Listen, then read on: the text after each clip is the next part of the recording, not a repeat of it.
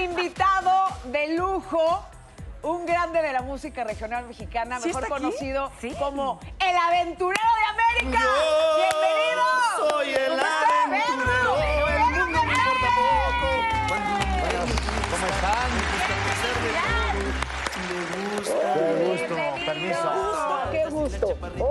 Oye, qué buenas botas, Pedro. Hola, muchas Buena gracias. bota, buena bota. Pues me las encontré ahí tiradas y dije, bueno, me las voy a llevar Eran para mías. ponerlas. ¿Cómo están? Gracias, gracias por, por recibirme con tanto cariño. Feliz de estar aquí. Tú hiciste un Son- cover de George Michael. Sí, claro, Carlos Whispers. Sí, la de. no sé. No siento español, en español, absurda confidencia. Es lo Yo máximo. Nunca volveré a bailar. Con mis pies no sigo el ritmo.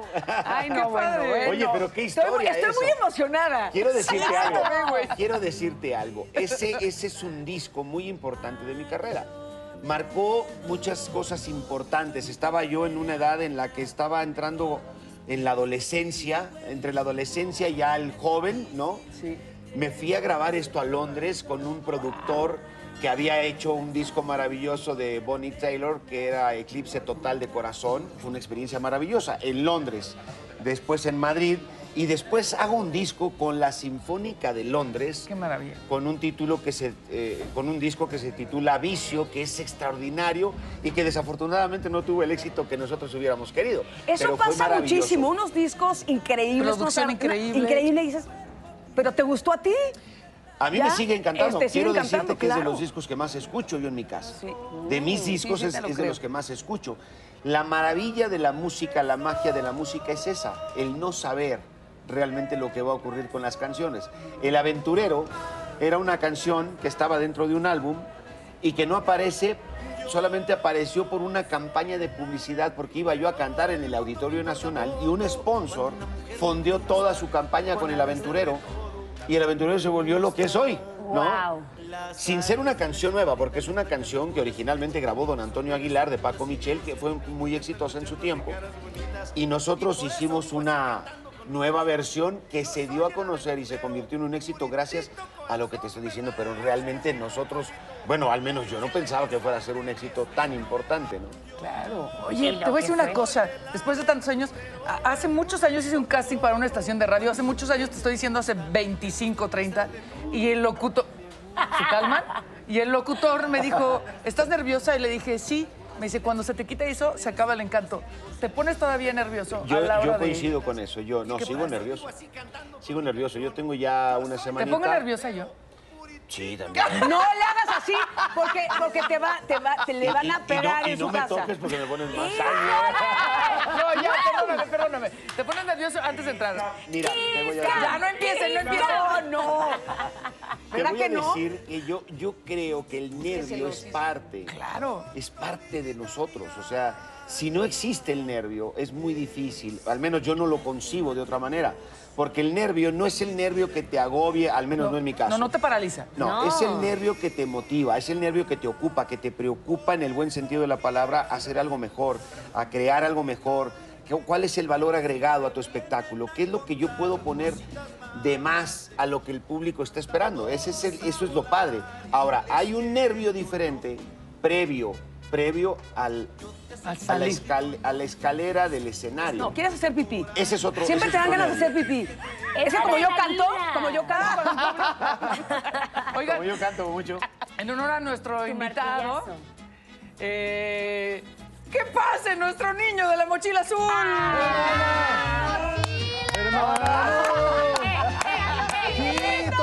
Bienvenido, Pedro. Placer tenerte aquí Igualmente, con nosotros. Gracias. Gustazo. Y pues la verdad, sabemos que tienes una gran trayectoria Gracias. desde 1900.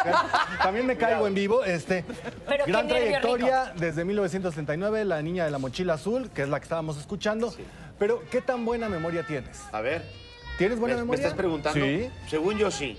¿Sí? Sí. Bueno, pues ¿qué te Veamos. parece si vemos en pantalla algunos de los momentos icónicos de tu carrera en donde has participado?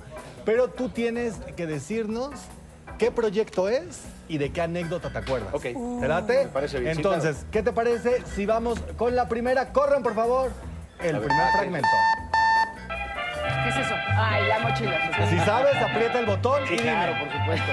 ¿De qué película se trata? Es la de la mochila azul, es mi primer película. Es una escena del salón de clases y sale corriendo porque extraña a la niña que, que recientemente se ha perdido en el mar. Ahora, ¿alguna anécdota que nos quieras compartir que poco Hay se muchas conozca de anécdotas. esta, esta, película? esta película fue mi primer película, Sí. ¿no?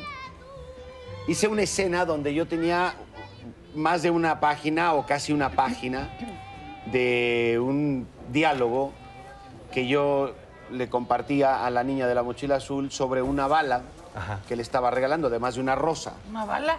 Una bala, una bala así como de 1900 Carranza, ¿sabes? Así. y entonces, era tan largo el speech que me aventé 39 tomas. ¿no? Qué bien. Ahorita dices 39 tomas, bueno, pues no, no pasa nada. Pero cuando estás empezando en el cine, cuando ves que todo el mundo hace así como que, ay, otra vez se le olvidó, empiezas a tener una angustia horrible. Claro. Y entonces entre más pasaba, peor, porque ya no se claro. me olvidaba una, ya se me olvidaban tres. Sí, sí. Y es, una, es, es un momento horrible, realmente pasé un momento de angustia horrible. Sin embargo, cuando yo veo la escena, digo, qué bien me salió la escena. no se nota. O sea, valió la pena el que me haya yo. Equivocado tantas Eso es lo veces. importante. A ver, vamos con la siguiente. En cuanto sepas, aprietas y Dale. respondes. ¿Va? Vamos.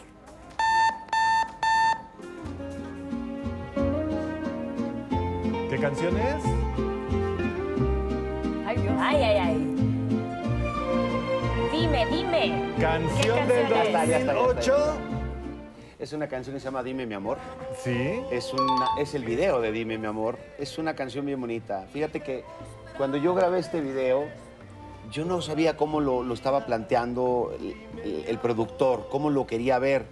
Cuando yo vi las escenas de la pareja y de cómo se aventaban los papelitos por abajo de la, de la, puerta, puerta. tratando de buscar una reconciliación, me encantó, me encantó porque eh, de alguna manera sabes que hay historias de esa, de esa este, Claro. manera en la que se reconcilian las parejas, ¿no? A través de un mensajito o a través de una flor, a veces sin verse, ¿no? No, Claro. ahora es una flor, pero virtual, así, un mensaje de Un WhatsApp.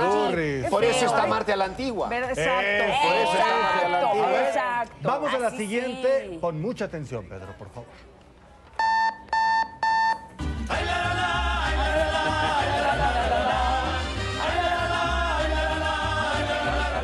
¿Cuál será? ¿Cuál será? Yo Que ya platicabas, ¿no?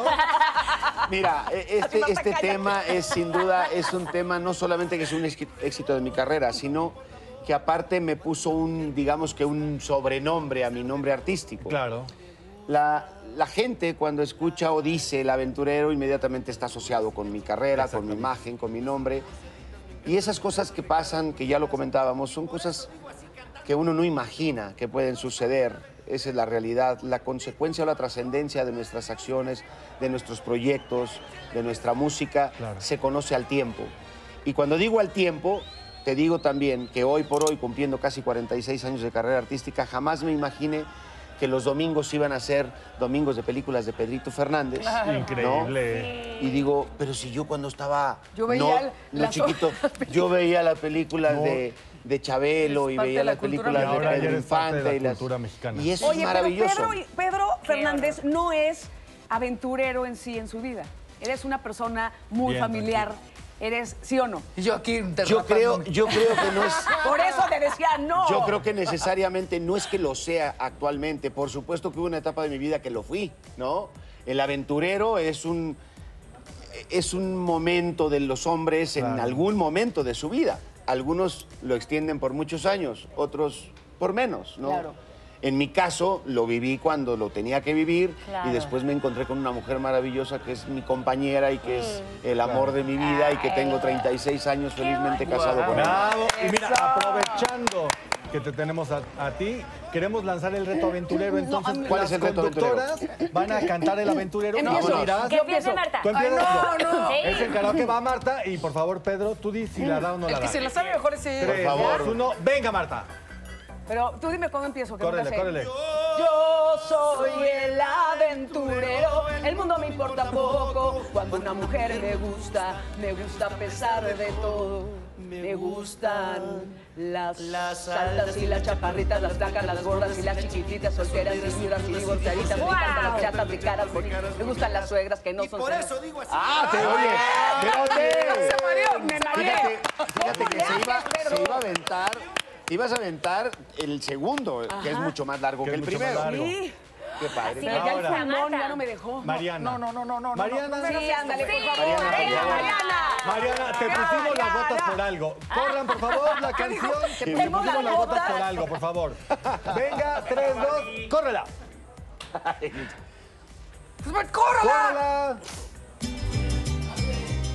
No, que empiece. No, ya, Dani, ya, Ah, Vani, ya. La, la, la regaron contigo, Vani. Sí, ya, Vani, Vani. ¿Por qué le hicieron eso? Lista. Eh, Lo hicieron a propósito. Era una recreación de las 39 escenas que grabó en la niña. Vámonos, vámonos, diga el aventurero. ¡Córrela! Yo Soy el aventurero, el mundo me importa poco. Cuando una mujer me gusta, me gusta a pesar de todo. Me gustan las altas y las chaparritas, las flacas, las gordas y las chiquititas, solteras y viudas y divorciaditas. Me encantan las chelas, me encantan las chelas, me gustan las celosas, me encantan Me encantan las chelas y los... Es que le gustan las chelas, no lo Te pueden traicionó, te traicionó muy feo. Ahora vamos con Ani. Ani es la voz de un ángel. Aquí se sabe. Adelante, venga. Lanzamiento mundial. Vas, Ani. Canta conmigo. Yo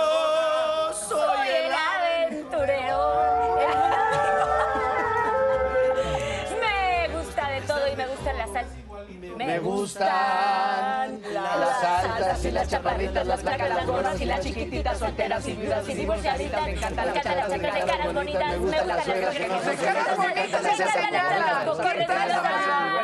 Me encantan las gordas. ¡Bravo! Pedro, ¿quién gana de tres? Definitivamente... Marta. ¡Martita! No, ya,